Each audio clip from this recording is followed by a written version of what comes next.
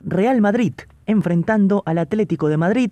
Gran pase del argentino Ángel Correa para el francés Antoine Griezmann, quien remata de zurda y vence al portero Keylor Navas.